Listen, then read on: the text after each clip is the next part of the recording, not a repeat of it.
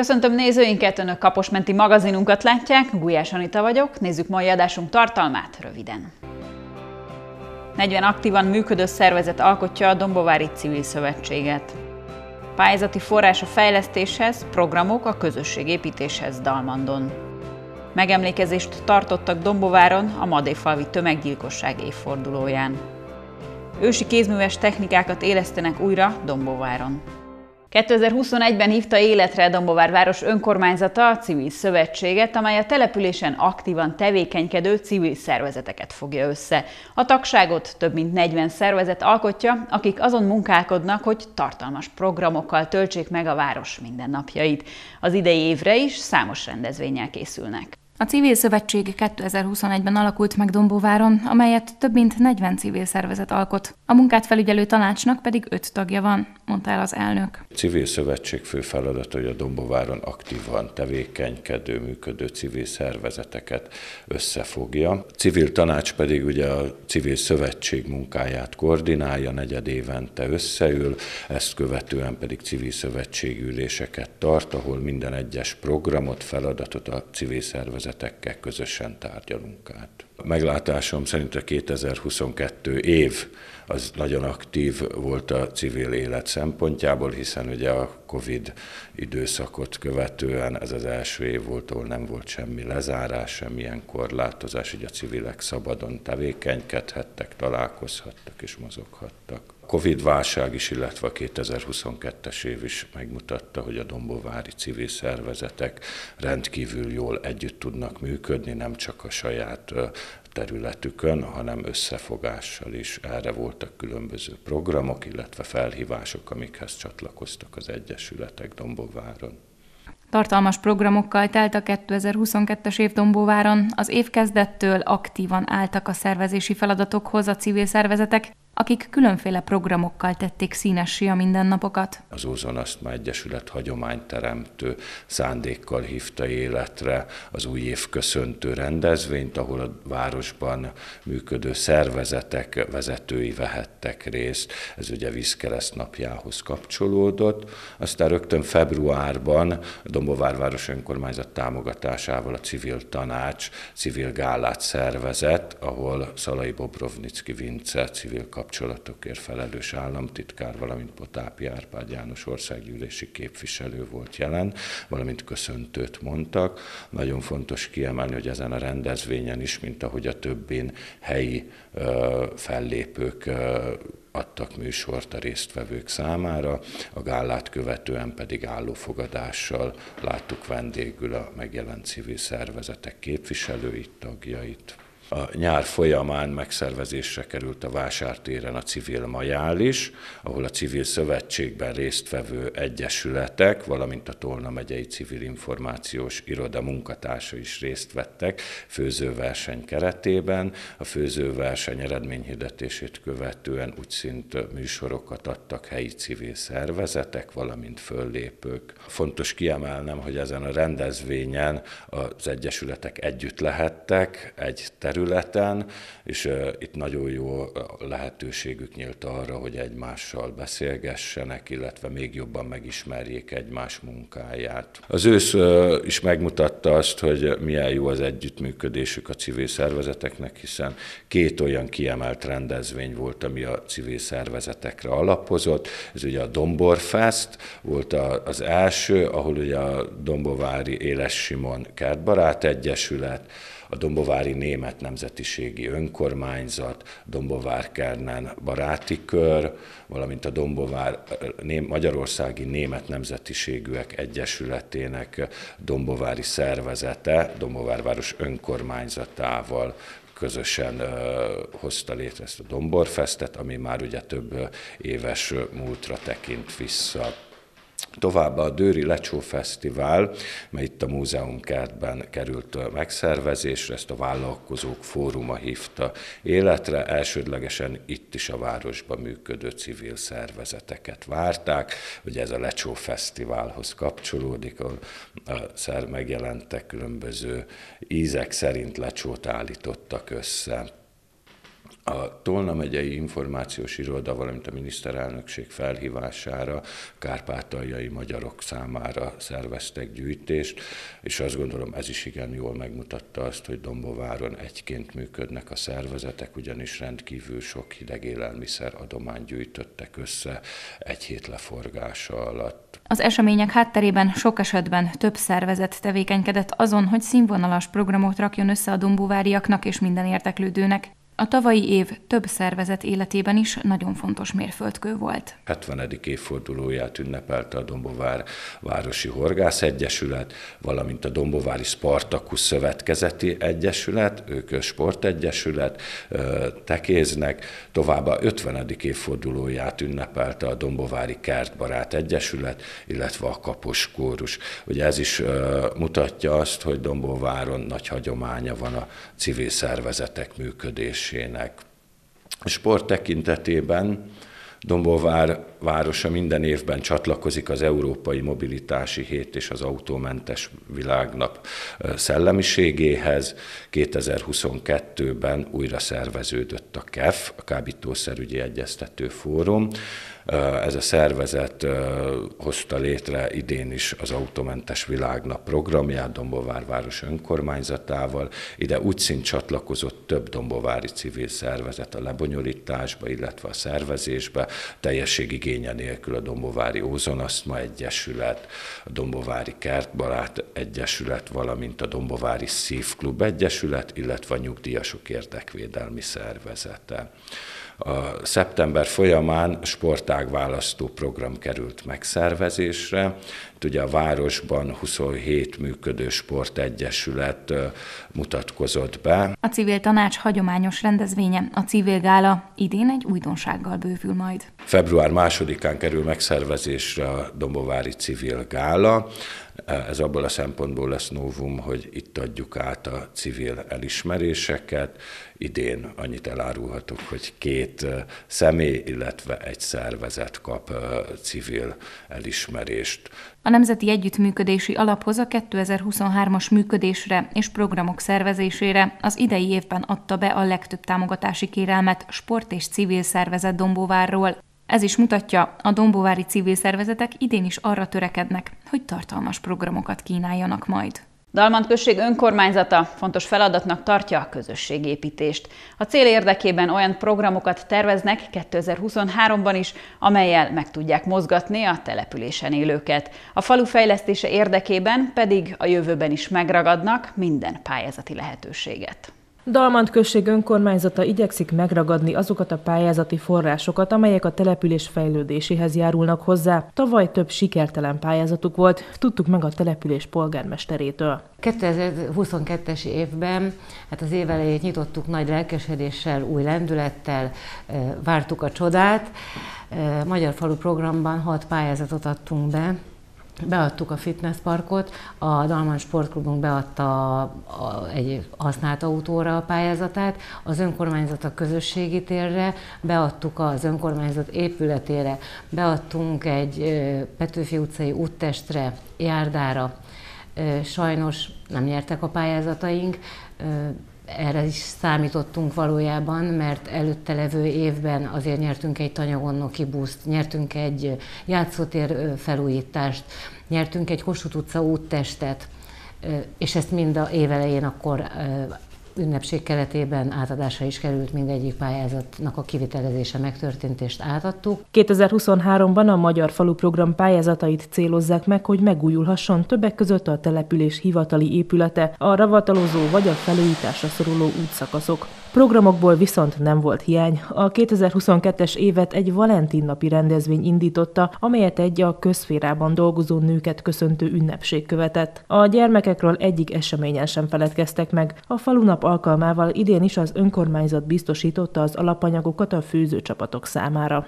Ezt a vadásztársaságoknak köszönhetjük, vállalkozóinknak köszönhetjük, a képviselőtestületnek, és nyilván én is, mint polgármester anyagiakban is és munkámban is támogatom ezeket a rendezvényeket.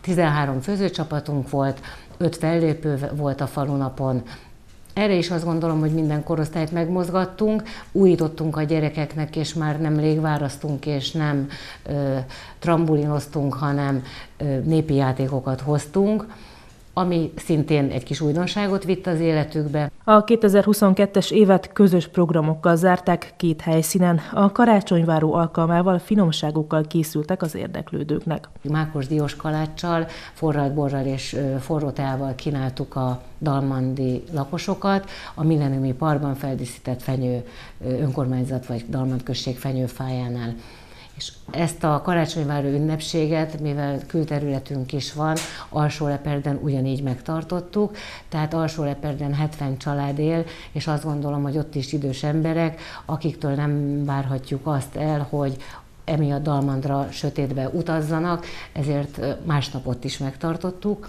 Ugyanezt tettük az előszilveszteri ö, mulatságunkkal is, vagy az, elő, az, az előszilveszteri kis bulinkkal, aminél sült hurkát, kolbászt, sült malacot szolgáltunk fel a lakosoknak. Dalmandom Bodópeti szolgáltatta a talpalávalót, ezt az előszilveszteri futással egybekötött kis évbúcsúztatást úgy tudtuk összerakni és megoldani és kivitelezni, hogy itt szintén szükség volt arra, hogy hogy a képviselőtestület és egyéb vállalkozók is támogassák ezt a rendezvényünket, hiszen az önkormányzatot elég sok szigorítás éri anyagi vonatkozásban, tehát nem az önkormányzatot terhelte ez a költség, hanem meg tudtuk oldani adományokból. Három év óta, amióta elkezdtem a polgármesterségemet, azóta, azóta igen, alsó leperdet folyamatosan bevonjuk. Sőt, itt említettem, hogy nem nyertünk ugye pályázatot, de alsó leperden volt egy olyan útszakaszunk, ami annyira leromlott állapotban volt, hogy lépnünk kellett, és ezt 4 millió 370 ezer forintért az önkormányzat saját költségén megcsináltatta az alsó leperdi lakosok részére, még az anyagi szorítások ellenére.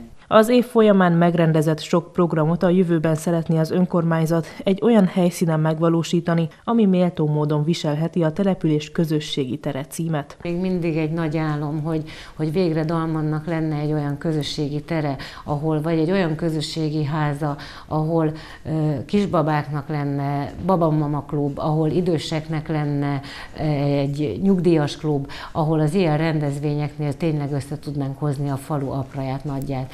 Tehát ez mindig ez egy álom, amit, amit reméljük, hogy nem csak álmodunk, hanem meg is fog valósulni. Dalmant község önkormányzata igyekszik előteremteni azt az anyagi forrást, amiből 2023-ban is meg tudja valósítani a számtalan programot, ami átöleli majd az évet. A falunapra szoktunk a vállalkozóktól, és a többi rendezvényt azt próbáljuk megvalósítani úgy, hogy képviselőtestület és és jó magam, most nem tudom, hogy ezt illő dolog-e így mondani, tehát próbáljuk úgy összeadni a, a pénzeket, hogy egy kis buborékkoncertet a gyerekeknek mi meg tudunk oldani. A közmunkás dolgozók nagyon szívesen sütnek nekik palacsintát, nagyon szívesen megcsinálják azt a kis jeges limonádét. A helyben megvalósuló eseményeink és rendezvényeink, hiszen majdnem minden hónapra esik egy-egy rendezvény, nem valósulhatott volna meg, és az idejében sem tudnánk megvalósítani, hogyha nem számíthatnánk a helyi vállalkozóinkra, nem számíthatnék a képviselőtestületre, és nagyon köszönöm nekik, hogy jobbára ezekből a támogatásból tudjuk a rendezvényeket megtartani. Mondhatom azt, hogy 80%-ában adományból, és 20% az, ami az önkormányzatra esik ebben a nehéz anyagi helyzetben teljes előbedobással kezdtük a 2023-as évet. Ugye a magyar falus pályázatokat még nem tudjuk, de programilag már osztunk, szorzunk, és, és próbáljuk tervezni a, a tavalyi évben megvalósított programok idei évben is kivitelezését. Már kezdjük is a Valentin nappal, február 11-én, tehát Valentin napi páros vetélkedőnk lesz, és már keményen gondolkodunk, hogy a kisgyerekeket mivel tudnánk kedvezni a húsvétoló rendezvényen. Azt szeretnénk, hogy, hogy minden réteget és minden mindenkit megmozgassunk, ha egy rendezvényen csak a piciket, a következőn akkor a másik korosztályt, és akkor azért évvégéig eljutottunk arra a szintre, hogy az összes rendezvényt nézve minden korosztály is részt vett valahol. A dalmandiak minden ünnepkör alkalmával számíthatnak majd programokra. A Valentin napi rendezvény lesz a következő, amelyet egy ünnepélyes kopjafa avatás követ márciusban. 1764. január 7-e volt az a dátum, amikor az osztrák katonaság lemészárolta a Madé falván egybegyűlt a határőr sorozás ellen tiltakozó csikiszékelyeket. A vérengzés a történelembe falvi veszedelem néven vonult be. A tragikus eseményről Domováron is megemlékeznek minden évben a helyi székelykör szervezésében. Vándor, fecske, sebes szányán,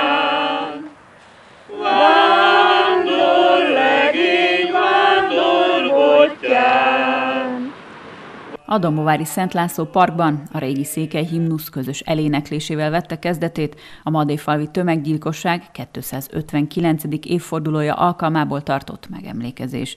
A Madéfalvi vérengzés vagy Madéfalvi veszedelem a székelyek egy csoportja ellen elkövetett tömeggyilkosság volt Mária Terézia királynő uralkodása alatt. A megemlékezést a Dombovári székelykör szervezte. 1764-ben Madéfalván, január 7-én öldöklés volt, székely öldöklés, ez a szikulicidium. Ez tulajdonképpen azért történt, mert a székelyek nem akartak beállni katonának, Mária Terézia seregébe, határvédőnek, és ezért miután előzetesen sokat tárgyaltak ez ügyben, hajtatatlanok voltak a székelyek, és akkor lecsapott a császárnőnek a haragja, és lövette a székelyeket. Ezután csík, csík székből nagyon sokan, nagyon sok székely családostól elmenekült Moldvába. Nagyon sokan ott haltak meg az olt, a jég, jeges olt vizében.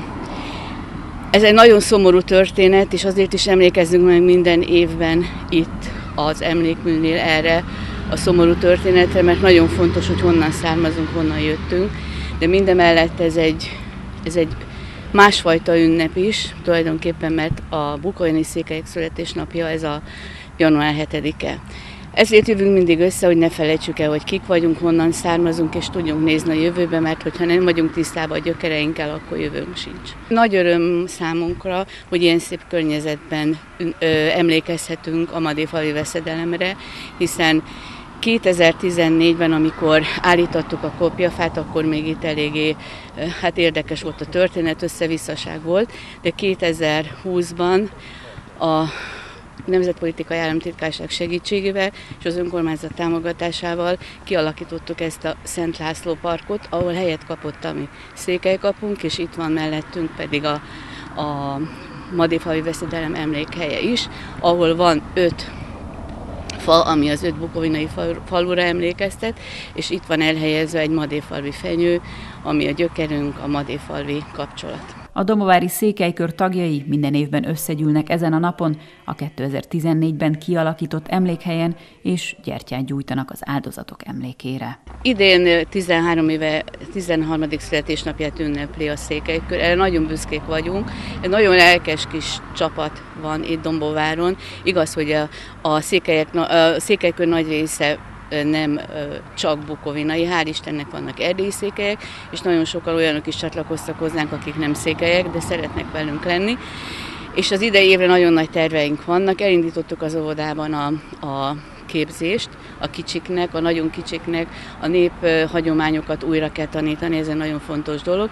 Amellett, mivel ez egy nagyon jó kis közösség, sok olyan programunk van, ami, ami tulajdonképpen megkönnyíti az idősek életét, mert nagyon sokan a székelykörből idősek, és szívesen jönnek a, a közösségünkbe. Legutolsó rendezvényünk az a nagymányoki székelykör csoványolása volt, amit nagy, nagyon nagy örömmel fogadtuk őket, és nagyon jó volt a hangulat, karácsonyi készülődés volt. Nagyon sok, sokan eljöttek, és ez, ez számunkra egy örömteli hír. Az eseményen a tagság mellett részt vett Pintér Szilárd, polgármester, Futó Péter és Tobak Gábor önkormányzati képviselők, valamint Hosszú Sándor Gergely, a Dombovári Civil Tanács elnöke is. 2021 őszén a közösségi élet újraindításáért felelős operatív törzs Magyarország kormányának támogatásával hirdette meg azt a programot, amelynek köszönhetően számos olyan mesterség sajátítható el a szakkörök alkalmával, amelyek mára kezdtek a feledés homályába veszni. A program keretében Dombováron szombatonként lelkesen nemezelnek és hímeznek az érdeklődők.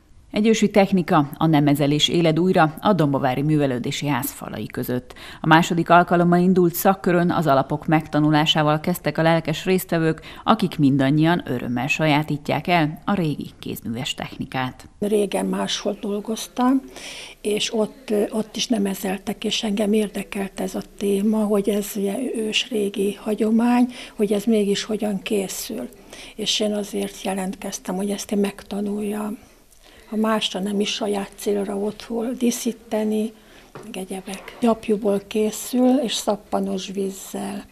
Először, a, amit akarunk készíteni, arra rátesszük a gyapjút, több rétegbe, mindig ellenkezőleg, és utána vizezünk, hólyagos pubis fóliára tesszük a mintát, amit mi szeretnénk készíteni, és levizezzük, utána ráhajtjuk a fóliát, elnyomkodjuk, és akkor így utána meggyúrunk. Most lesz kihívás, mert most már előnemezelünk, és az kicsit nehezebb lesz, mint tavaly volt, akkor angyalkákat készítettünk, pénztárcát. Azért bizonyul nehezebbnek, mert erre kell előnemezt is készíteni, az külön el kell készíteni, és abból vágunk ki mintákat és azt kell, először azt helyezzük fel a mintát, a szabás mintára, és akkor utána megy rá a szín, amit akarunk, hogy milyen színű legyen, és azt tovább kell gyúrni, meg nehogy elmozduljon, meg oda kell figyelni, hogy hova tettük a mintát, nehogy pont a mintát vágjuk fel.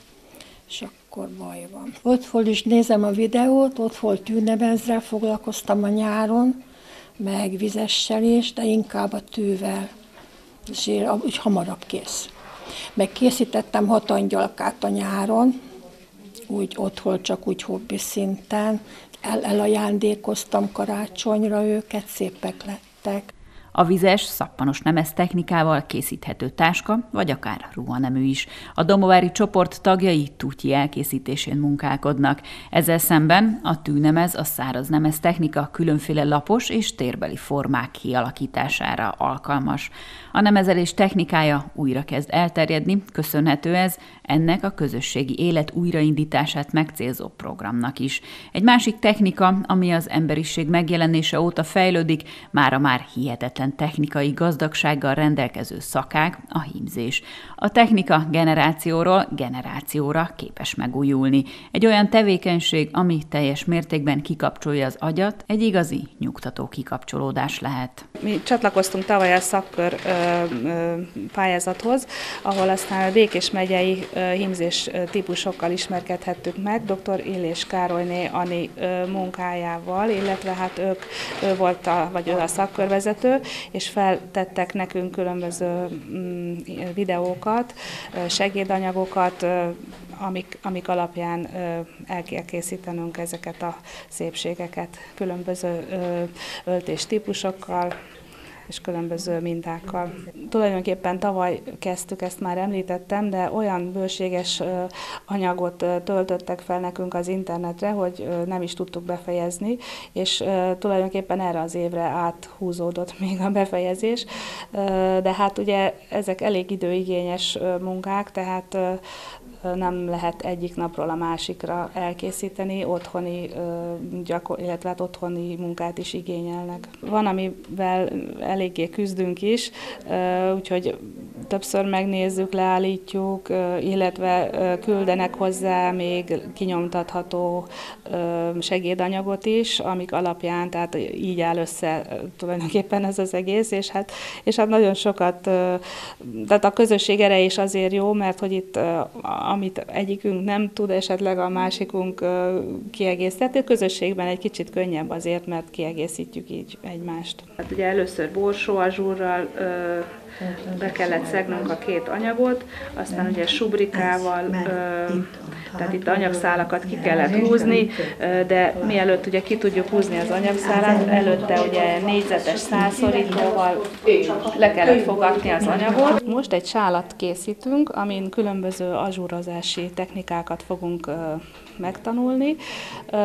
Hát a pókazsúrtól, az exugazsúron keresztül a borsó borsókán keresztül, tehát nagyon sokféle mintát, és hogy ez is egy különleges technika, amikor tulajdonképpen az anyagszálak kihúzásával és összekapcsolásával tudjuk, tudunk mintákat is varázsolni az anyagra.